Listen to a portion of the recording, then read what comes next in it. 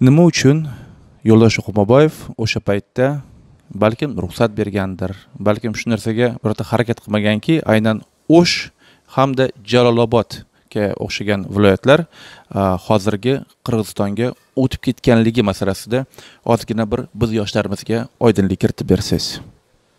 Endi bu ham chala savodlardan chiqqan gap. Haqiqatdan o'qimasdan o'rganmasdan har qanaqa uh, ifloslarning gapini terib o'rtaga tashlaydigan gap. Man tushuntirib bermoqchiman. Sovet o'zbekistoni tashkil etilganda sovet o'zbekistonning uh, hududida o'n ikkita viloyat tashkil etilgan. Na o'sh na jalolobod bu viloyatlar o'zbekistonning hududiga kiritilmagan. Chunki bu markazdan bo'lgan. Ya'ni siz hozir bir ming to'qqiz yuz yigirma to'rtinchi yildagi bo'lgan vaziyatni tushuntirib beryapsizda? Ayni yigirma to'rtinchi yilning vaziyati. Mana misol uchun o'zbekistonni yo'ldosh otaning qilgan harakati shu bo'ldiki shohimardonni o'zbekistonga saqlab qolishdi. So'xni saqlab qolishdi va bular hozir anklav bo'lib qirg'izistonning e, hududida xuddi bir orollardek qoldi.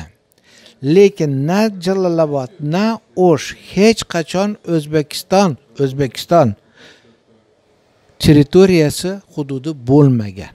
Va yo'ldosh otaning hech qachon hech qanaqa bunaqa huquqi bu bir qanaqa yerni palonchi nimalarga berish bu xrushchevning iflos harakati oqibatida mana hozir qrimda qrim e, mojarosi orqasida rossiya bilan ukrainaning o'rtasida urush holati bo'lib qolgan. Mana bitta iflos bu lekin xrushchev u paytda kim bo'lgan? Sovet ittifoqining rahbari bo'lgan.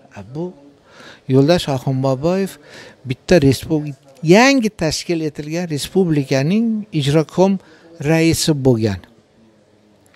Bu birinchi. Ikkinchidan hammasi esidan chiqaryapti qirg'iziston respublikasi u paytda bo'lmagan. Qirg'iziston respublikasi avtonom respublikasi deb hozirgi qozog'istonni nomlashgan.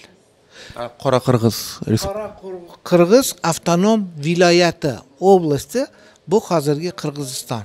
Va bu ikkita e, hududlar qirg'iziston respublika avtonom respublikasi va qora qirg'iz avtonom e, viloyati ikkalasi ham rossiya federatsiyasining qismi bo'lgan.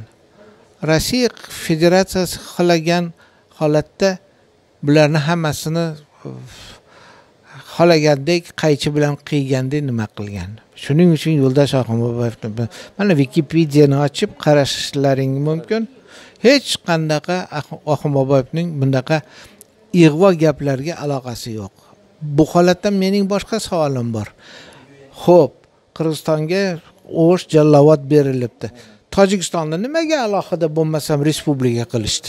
Bir ming to'qqiz yuz o'ttizinchi yilda tojikiston o'zbekistonning bir qismi ediyu. Tojikiston bu sharqiy buxoro ediyu. Nima buni haqida hech kim hech narsa demaydi yana bir bor aytyapman. Afsuski bizaning chala savod chala savod fuqarolarimiz yo fuqaro ham emas bular endi ziyolilarimiz. Aholini boshini aylantirib ahmoqona gaplar bilan to'ldirib tashlagan.